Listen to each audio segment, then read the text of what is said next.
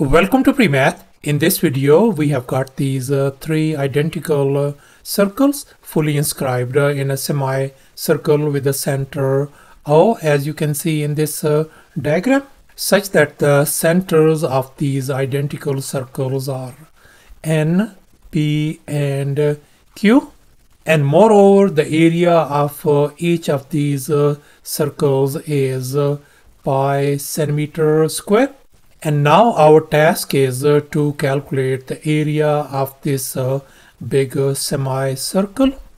Please don't forget to give a thumbs up and subscribe. And please keep in mind that this figure may not be 100% uh, true to the scale. Let's go ahead and get started.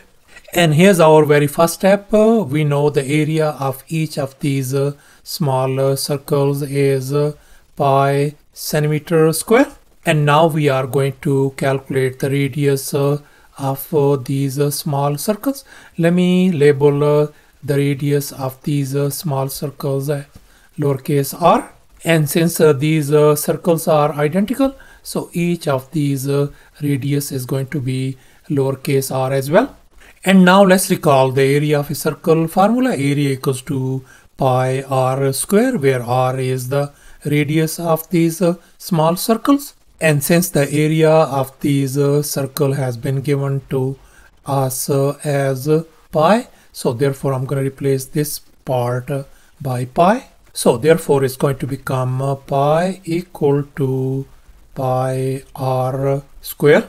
Let's divide both sides by pi so therefore our radius r square turns out to be 1 let me go ahead and undo this uh, square by taking a square root on both uh, sides. So therefore our radius r turns out to be positive 1 so thus the radius uh, of these uh, identical circles turns out to be 1 centimeter. And here's our next step. Let's assume that the radius uh, of this uh, semicircle uh, is uh, x centimeter. And here's our next step. I have connected these centers p and q and now let's recall this uh, crucial fact. The centers and the point of contact are uh, collinear. So no wonder the centers P and Q and this uh, point of contact, uh, they are uh, on the same uh, line. And in this next step, I have connected this center O with this center Q and this point of tangency C as well. And once again, these three points are collinear as well. And here in this next step, I have connected uh, this center P with this center O such that uh, this OP is the radius of this uh, circle. And now let's recall the circle uh, theorem. According to this theorem, the angle between the radius uh, and the tangent uh, will always be 90 degrees. So no wonder this angle is going to be 90 degrees since this is our radius and this is our tangent line. So therefore this uh, triangle OPQ is our right uh, triangle. And now let's make an observation. We know the radius of this uh, circle is uh, 1. So therefore this OP, this is the radius is going to be 1 centimeter. And this uh, PQ is going to be 1 plus 1 radius that is going to be 2 centimeter. And moreover we know that this uh, OC is the radius of this semicircle which is x and this uh, QC is the radius of this uh, circle which is uh, 1 centimeter. So therefore uh, this uh, length uh, OQ is going to be x minus 1 and here's our next step. Let's focus on this right triangle OPQ and we are going to use the Pythagorean theorem to solve for x. And here's our Pythagorean theorem. A square plus b square equal to c square so let's go ahead and fill in the blanks in this uh, Pythagorean formula. A in our case is 1, 1 square plus uh, B in our case is uh, 2 whole square equal to x uh, minus, uh, 1 whole square. So let's go ahead and simplify. That's going to give us 1 plus 4 equals to and now let's recall this uh, famous identity a minus b whole square could be written as a square minus 2ab plus uh, b square. We are going to apply it on the right hand side so this is going to give us uh, x square minus uh, 2x uh, plus, uh, 1 and now we can see 1 cancels out with this uh, 1 And let's move this 4 on the other side. So therefore we are ended up with uh, x square minus uh, 2x minus uh, 4 equal to 0. And now we can see that this is our uh, quadratic equation and we are going to solve for uh, x uh, by using the quadratic formula. And here's our quadratic formula that we will be using. And now we can see our coefficient a is 1, our coefficient b is negative 2 and our constant c is negative 4.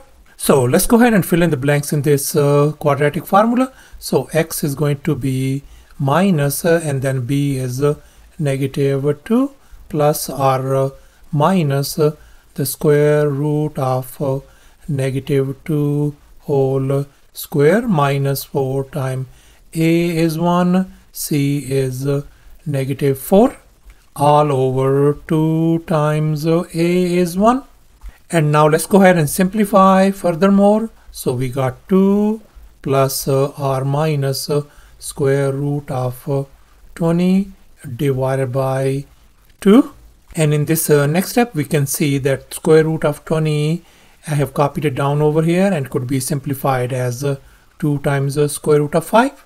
As you can see in this uh, next step, I have replaced this square root of 20 by 2 times the square root of 5 and here in this uh, next step, I can uh, write uh, this fraction as a partial fraction as uh, x could be written as uh, 2 divided by 2 plus uh, r minus 2 times square root of 5 divided by 2 as well.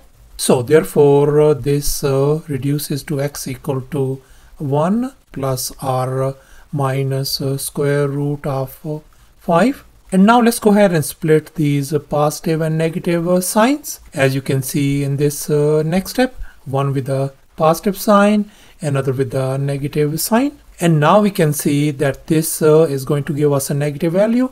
And since x is the length, so this is not uh, possible. So therefore we are going to accept this uh, 1 plus square root of 5 value and we are going to reject uh, this negative value. And now we know that uh, x represents the semicircle radius. So thus the semicircle radius turns out to be 1 plus uh, square root of 5. And here's our final step. Let's go ahead and calculate the area of this uh, semicircle.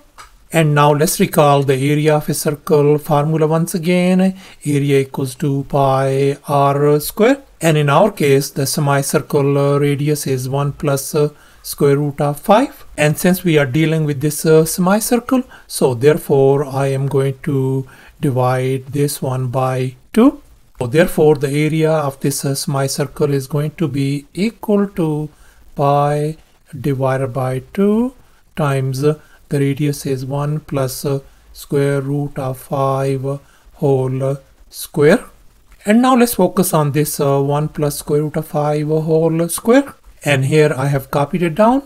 And now let's recall this uh, famous identity a plus b whole square could be written as a square plus 2ab plus uh, b square.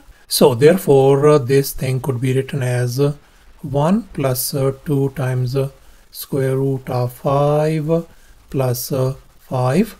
Let's combine the like terms. So this could be written as 6 plus 2 times square root of 5. Let me go ahead and factor out 2. So 2 is going to be outside and this is going to become 3 plus uh, square root of uh, 5. So therefore I'm going to replace this uh, 1 plus square root of 5 whole square as uh, 2 times 3 plus uh, square root of 5. So therefore I can write uh, pi divided by 2 outside and this I'm going to replace it with 2 times 3 plus square root of 5 and now we can see this 2 and 2 cancels out so therefore our area of this semicircle is going to be pi times 3 plus square root of uh, 5 so thus the area of this uh, big semicircle turns out to be pi times uh, 3 plus square root of 5 uh, centimeter square and that is also going to be equal to 16.45 centimeter square. Thanks for watching and please don't forget to subscribe my channel for more exciting videos. Bye.